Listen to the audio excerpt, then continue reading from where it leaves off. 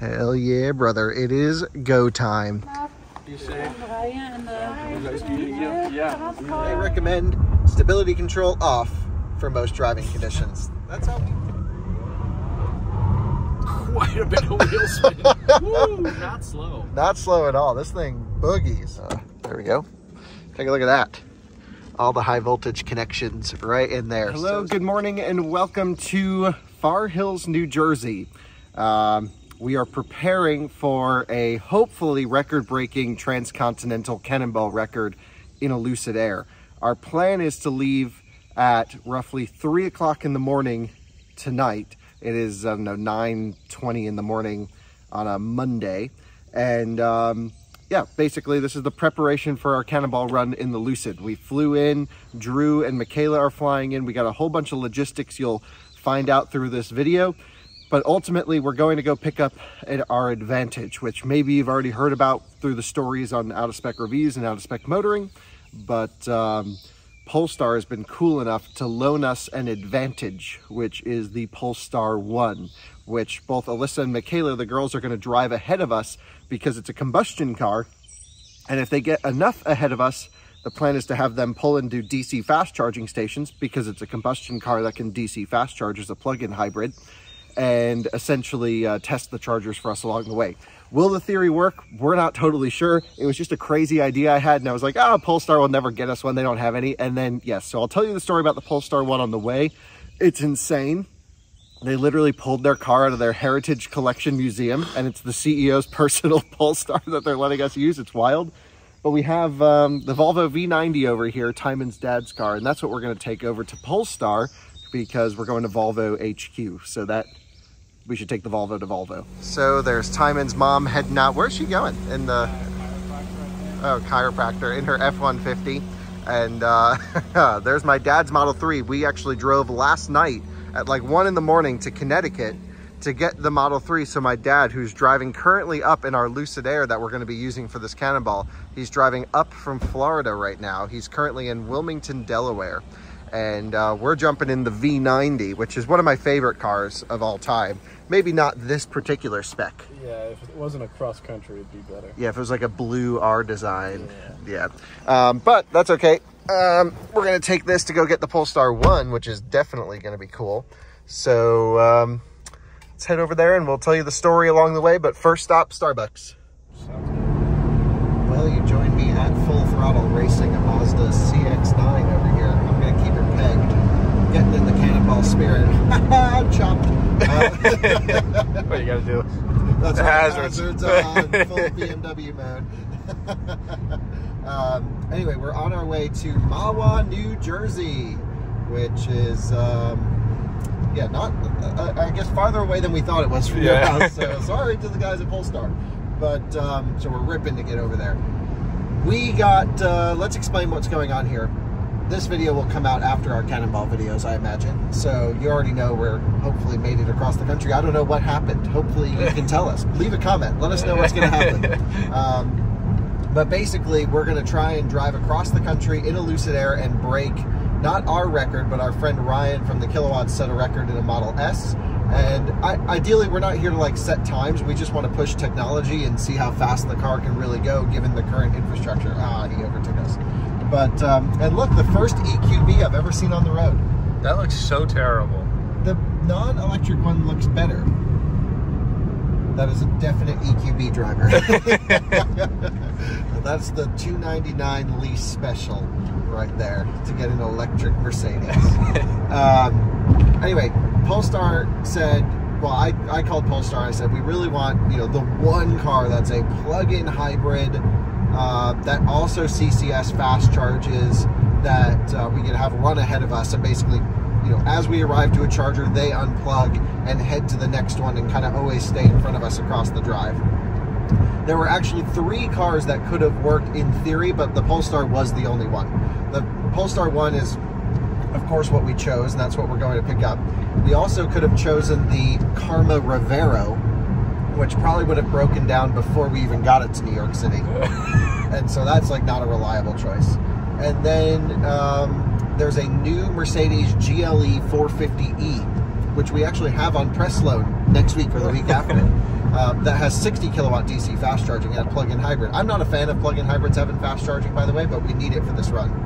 And um, ultimately, we decided on the Polestar 1 because it was on sale. We could get access to the car, and it will hopefully work. It's a proven platform. Even though it's very complicated, they do really well. And I've spent a lot of time with Polestar, so I can help Alyssa and Michaela optimize the car. So um, my understanding is when I called Polestar, I was like, "Hey guys, can we like borrow one?" They're like, "Kyle, we don't make this car anymore. We don't have any. Like, what are you talking about?" I was like, "You got to have one somewhere." And they're like, "Yes, it's in our museum, the Heritage Collection." And I was like, "Great, we'll take it." And they're like, "Uh, what?" So they called Greg, who's the CEO of Polestar USA, and Greg was like, "I'm in. Go for it. Take the car." And it's his personal car. So so cool of them to uh, let Yeah, us. that's awesome. I mean, yeah. Have you ever heard of another And, car company? First off, good thing it's not gold. Yeah, thank God it's The not. one of CEO has a little bit of taste. That's right. that 50 gold edition, that Yeah. was not it. we saw that in, where were we when we saw that for the first time? Um, In Munich? Or Munich or Denver?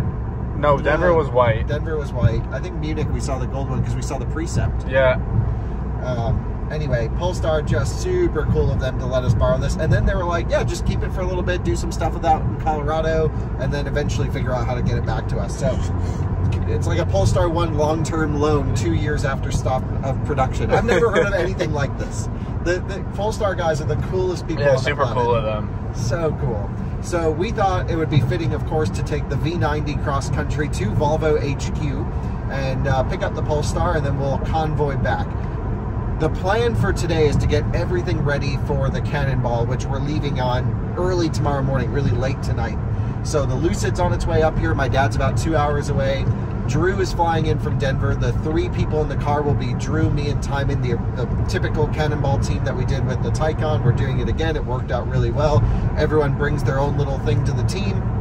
Drew's the maniac. Yeah. Like if we have to go really fast, we put Drew in the driver's Yep. seat. Timon, you're great at the long stretches at night. I can do uh, the fast driving, no the problem. middle stuff. The, the- and getting us into LA, I'm always good Right. at that. Just you know, full New York mode.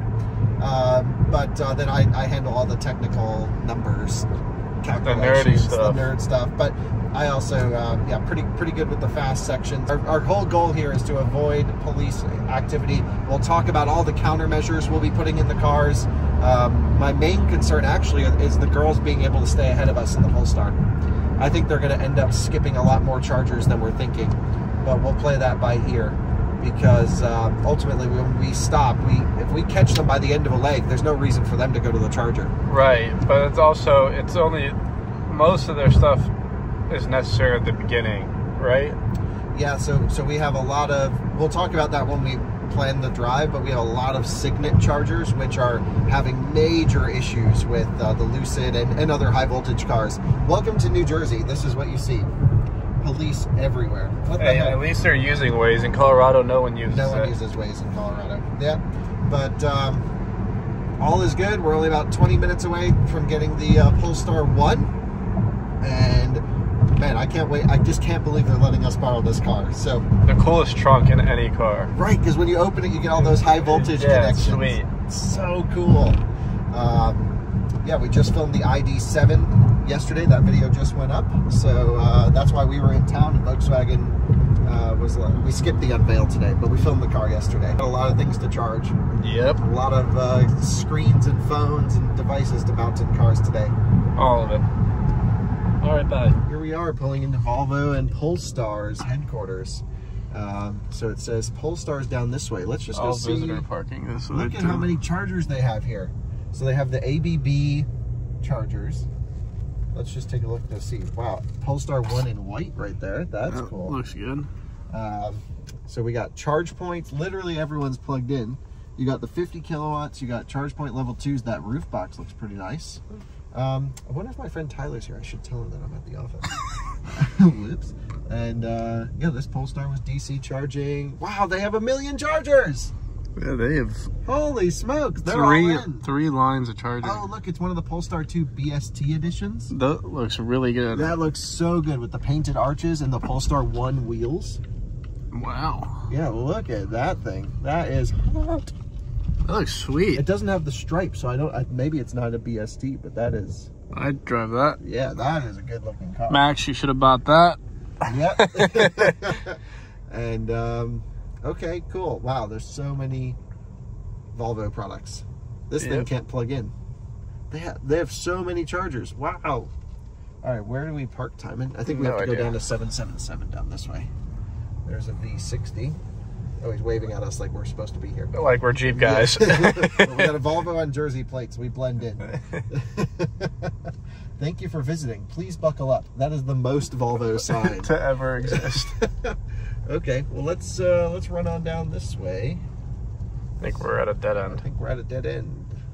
Okay, well I'll just call him and see what's going on. But this is pretty. B5. Yeah, B is the mild hybrid. Okay, love to see it. Let's go find this Polestar. This is sick. See you, Tyler. Great running into you. nice S60. Congratulations. And got it juicing up over here. It's like great to see our friend Tyler. Look at how many chargers they have here. Just rows and rows, two DC chargers over here. Tyler was saying this is the largest charging installation in New Jersey. Makes sense. Yeah, I think it is. Uh, someone brought a GTR to Say work. the one dude with the GTR at a Polestar building. so many Polestars and Volvos here. It's as you would expect, uh, expected. But here it is, our Polestar 1. What a machine. This thing is looking freaking awesome. There's the Thor's Hammer lights coming into life, looking very nice. And um, so this was Gregor's car, the CEO of Polestar, his No, personal that daily. Awesome looking Polestar 2. Right, so the Polestar 2 we saw up front with the BST edition, that's his, which That's is sick. Yeah. So um, we actually thought this was going to be matte gray, is what someone told us, but it's perfect, white on white. The seats look like they're in unbelievably good condition. yeah, I think this thing has 8,000 miles. 8,000 miles on it. The guys in there were saying just ahead of our drive, they put a whole new high voltage battery pack in it for us. So Quality stuff. quality stuff. Uh, it's fully fueled. It's got 8,532 miles. Everything looks It great. daily driven, by the way. Yeah, you must have a short commute. Um, and like everything feels and looks awesome. Look at the size of the tub here. This is so cool. Um, yeah, let's get in and uh, here we go. We just wanted to make sure we do need to double check at DC charges, but we'll do that at an EA station somewhere. But there you go. That's why we got this car: fuel and charging. Let's uh, let's run over to the V90 and test this thing out. And we're on seat on the ground. There we go. We got almost a full charge, almost 70 miles of range on a plug-in hybrid. How accurate is that though? I don't know. Auto AC on high. Nope. 68. Seems reasonable. Um, we got to get the everything hooked up sound system wise, but where'd the seatbelt go? Uh, carbon fiber everywhere in this thing. This is just fully maxed out. Auto hold is on. I would hope so for the CEO. Yep. so we have all of the uh, all the stuff here. We'll let the girls get their uh, Gothenburg concert hall thing selected into B mode for sort of a one pedal driving experience. And off we go then for the first few. Wow, brakes are really touchy. For the first few inches in compared the to the V90, Yeah. these are three times the size. Um, wow, this we have. I think we're gonna have some cool stories with this car. Yeah, it's gonna be awesome. I'm gonna daily this thing until they make me give it back. They said they they got another one somehow to use while this is gone. Yeah, I, I'll take your uh, Rivian off Yeah. your hands and then Okay. you can daily this. Sure. I mean, you can borrow the Rivian anytime. That's all right. And uh, reserved for for GH. That's awesome. So uh, we parked the V90 just over here, and uh, what we're gonna do is then run back to your house in Far Hills. We have to do uh, a Costco run to get snacks for everyone. We need to get all the electronics And wired. one of us has to go pick up Drew. I, yes, one of us has to get Drew. I don't even know. So there's two USB A ports in here. Do you want to drive this, Timon? It's up to you. Yeah, you I can mean, drive it. That's all right. do you want me to pick up Drew in this or No, in the V90. because Newark is an hour away and he lands in an hour? Oh, okay. Well, then take the V90 to get him, and I'll Okay. run back to the house. That's Cool. good. Thankfully, you're on top of this. I just checked. Yeah. all right, because I got to get the detectors and everything mounted in here. Yep. This, I guess, is how they shine the Polestar logo on the roof when it's dark. Right. Just put tape over it. This is so sick. Yeah, I love this thing. Yep, me too. All right, well, I'll see you in an hour, and uh, I guess you're going to get Drew. Yep, bye. Well, heading out now in the Polestar 1. Thanks for visiting. Please buckle up. I certainly will, and I am.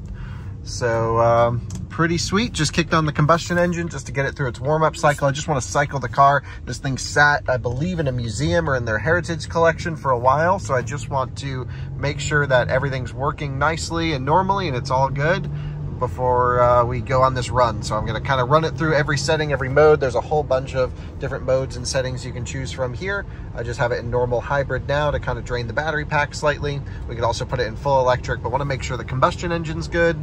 And um, yep, all should be pretty good for us. What a great experience. The guys at Volvo and Polestar are just the best and so nice of them to let us borrow this. And here we are just arriving back. Were you just getting back too? Did some groceries?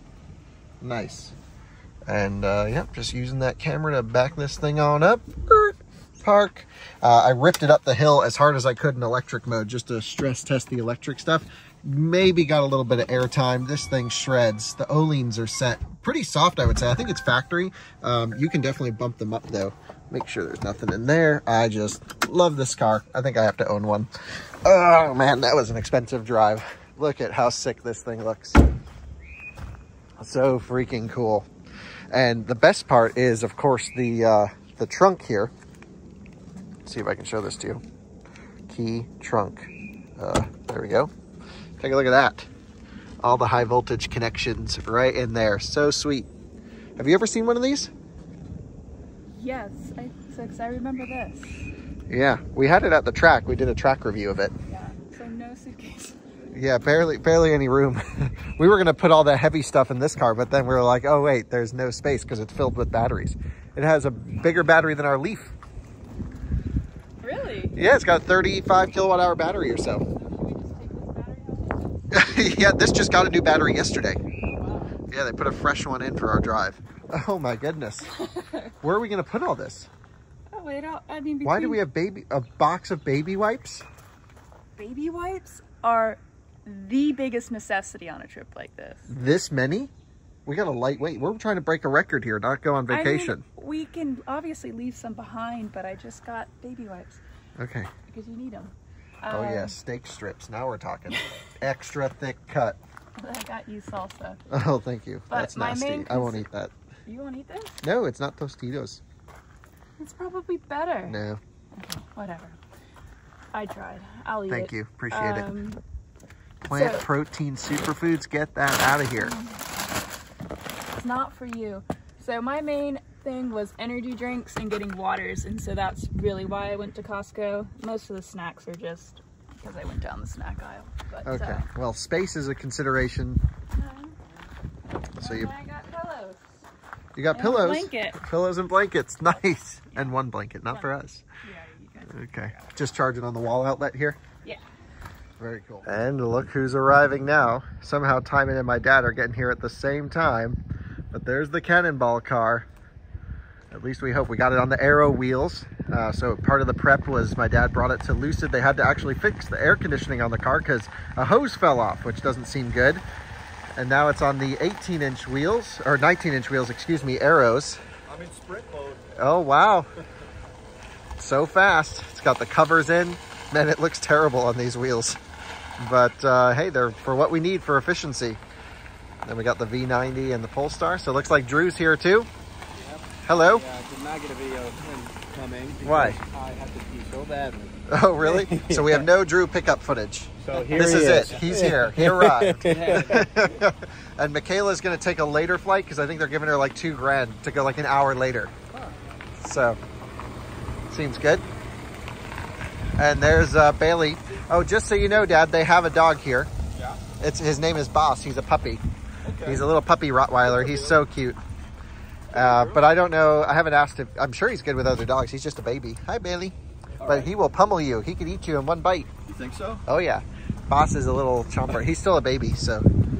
Well, she'll learn. She'll, she'll... If she screams bloody murder, he will stop. Yeah, he's gonna work it out. That's good he is so cute. Boss is the cutest dog Watch out your legs because he doesn't stop some hey, sometimes when he sees your legs.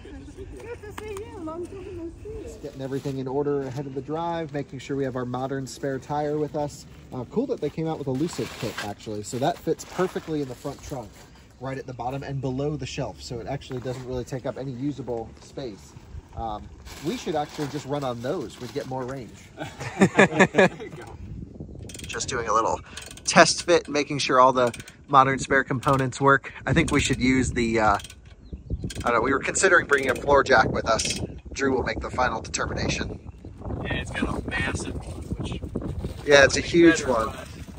Run. What about if we just run to Walmart and get like a two ton small compact? That's what I'd like, is yeah, basically the smallest version. Yeah. Yeah. So what you installing there? Uh, well, I got this uh, Garmin Tread Overland. Actually, Garmin sent it to us. A long Not- time ago. Not for this run.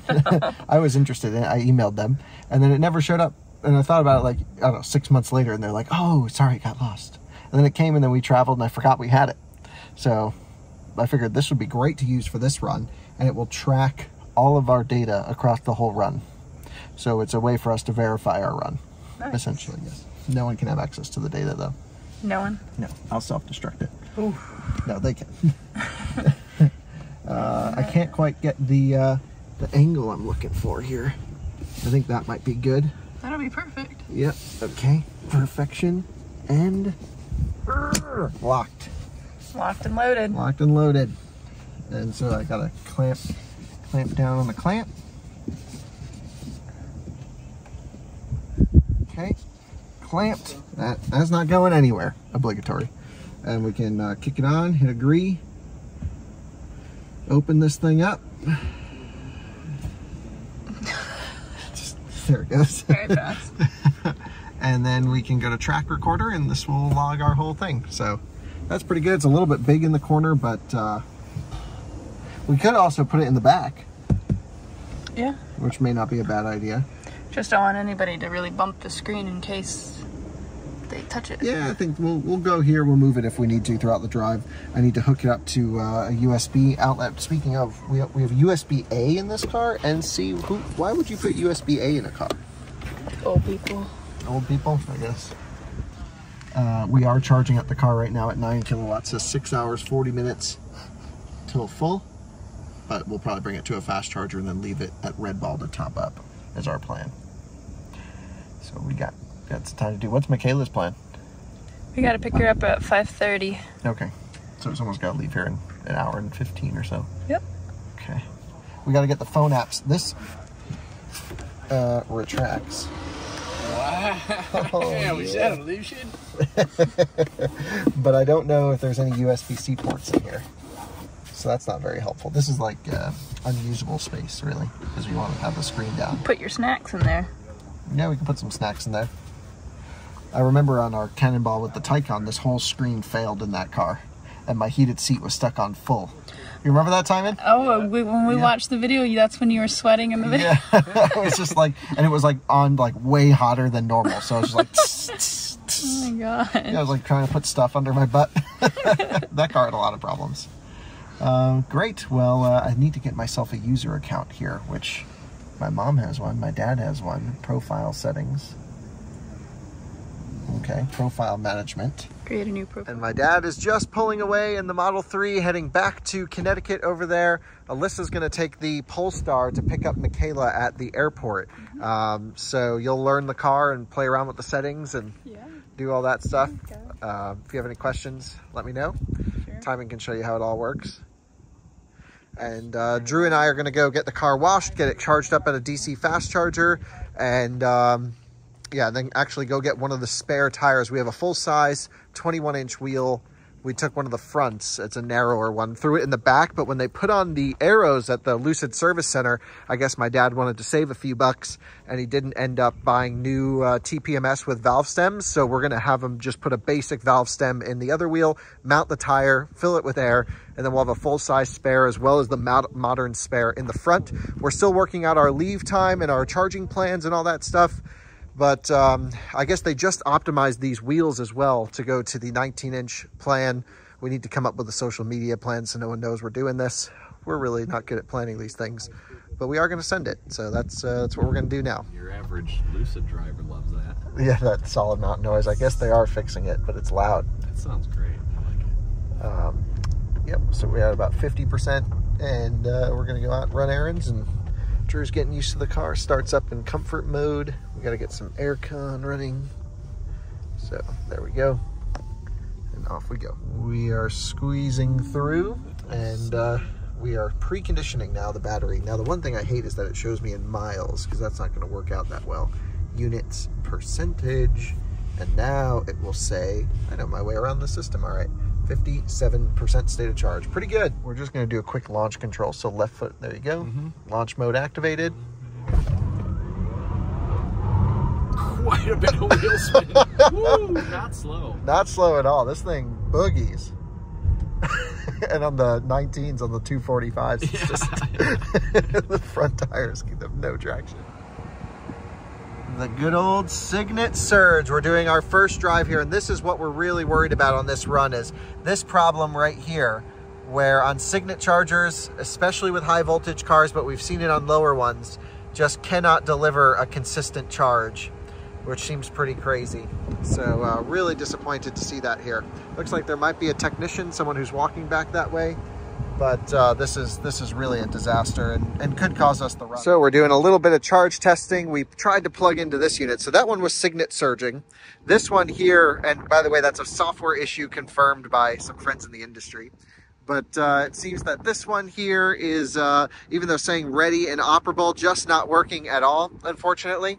This one over here um, is uh, is doing a Signet surge, but only 50 kilowatts, 30, just not any way that we're going to break a cannonball record if this is what we have to deal with. So uh, what we're going to do is that F-150 just unplugged and it seems to be making no difference at all. Cable cooling's just ramping up. We're going to give this maybe five minutes to see if it levels out, see if maybe we should deal with it. And if it doesn't after five minutes sort itself out, we may pop over to this charger here. Well, here we go. It's my first time driving this thing. Gonna go pick up my sister from the airport. And I do need to get everything set up in here in terms of my phone and all of that. Connecting Bluetooth devices. Gotta do all that. And gotta go pick up my sister. So let's head in the Polestar 1. All this room we've got here and see if suitcases even fit in this car. So let's head on out. All right, my phone is set up. Next is the mirrors here. I think that'll do for that. And then the right side. By the way, you guys are gonna laugh about how my sister's seating position is, so I'll just let you guys wait for that one. But now let's well, we're already in drive. So let's just get on going. We are charged up now. We moved over to this unit, had a very solid, smooth charging experience.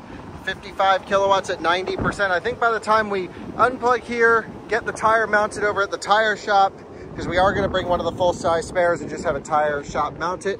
Uh, over at Costco Tire, really windy right now. I think we'll be uh, good to go. So let's unplug here and we can level two charge it to 100% when we get back to the house. That should complete just in time for the run. So let's, uh, let's go, especially as a line is forming at this very underserved station. And rockin', will you join us at uh, Yankees Auto Repair, Yankees Auto Repair, I don't know. And it's uh, great, we're just getting the tire mounted right here. We went to Costco Tire, they said we need a membership. These guys said we're good to go. So it's all we need. all right, $20 later, they got that thing mounted, super cool. Uh, we were, they were wondering what the heck we were doing with the car. I told them about the run and they were huge Cannonball fans. So I was like, don't say anything. And now I can't get in the car. So uh, he doesn't know where to hit. Thank you. I think just put it in park. Yeah. Or uh, it is in actually, park. uh, oh really? That one. There you go. Okay. Sick. Well, now we run home and sleep. Yes. Well, we were on our way back to the house just to do uh, some topping up, but I can notice here in the Lucid we were playing around with some of the stability control settings. And in full mode, it says recommended for most driving conditions, which is what you would expect. But when you turn it off, it also says it's recommended for most driving conditions. and if you go to partial, that's also recommended for most driving conditions. The screenshot of this though just makes me love Lucid because they recommend stability control off for most driving conditions. That's how we drive, Drew. No. no, never. Uh, very good. Well, uh, cruising along. The car's quiet. We got uh, everything prepped. I think uh, it's about as good as it's going to get, really. Well, you can see we're back home now. We threw the Lucid on the uh, level 2 charger, just a NEMA 1450 using the Lucid connector. You can just see it out there. Says it'll be done at 100% state of charge in two hours, which is good because we're going to leave slightly after two hours from now. And so I think that'll be good for the top to pack, uh, to the, for the pack to top balance, for us to get a little bit of a nap in before the drive, because again, we're going to be awake for the next 40 hours or so, hopefully with little naps for the third person. It's why we run with three people. But we have a whole bunch of video uh, documentation equipment to sort of film all of this for you guys. And uh, of course, the electrical tape. Give me a second, I'll tell you where you can go. Michaela, Hello. you're here. I am here. So you and Alyssa are going to take the Polestar on this drive, Yep. and you just finished work. Yes. And flew I here. Straight from the hospital, drove to the airport, and came here. Did you leave your car at the airport? Yeah. Oh, nice. Fine. The fine. Oh, fine. They'll charge it up for you. Uh, I had a pretty good charge. I charged Okay. at the um, hospital last night, so. Oh, okay. Yeah. So s- cool. And uh, so you're going from ID4 to Polestar 1. Have you ever even heard of the Polestar 1 before this drive? Nope. That was the first time I've ever seen one. So. Yeah, cool. Very nice. Yeah. Well, you ready to rip? Sure am. You going to drive fast? Yeah. Yeah, good. you guys need binoculars? Yeah. Yeah, we can get you a Why set. not? Okay. No, tomorrow night. Yeah, and I also have, um, um, I think. Some final preparations before we uh, get out of here. We got two fresh waters in the Polestar. We got a whole bunch of cigarette lighters going on with USB ports everywhere for the girls. Got a camera back here to run a time lapse for them. Hopefully that doesn't impede their rear visibility. Uh, there actually actually isn't that bad in this car. We are just juicing up the car because um, why not? May as well get some charge in it. I wanted to make sure it charges, and it definitely does. And uh, they got some funky Arizona manufacturer plates that definitely won't cause any problem with the police not understanding manufacturer cars. Could be some interesting stories. Let's hope not. Um, any extra of these we're going to get rid of. We just don't want any unnecessary stuff in the cars. And uh, I think they're looking pretty good over here in the Polestar. Timon's getting the Lucid set up. He's just getting all the wires running, everything. We leave here in about two hours. I really need to go to bed, so I'm going to take a quick nap. And we're on the road for 40 hours. Hell yeah, brother. It is go time. I just uh, laid down in bed for an hour or so. Didn't really get any sleep. Timon and Drew slept earlier today.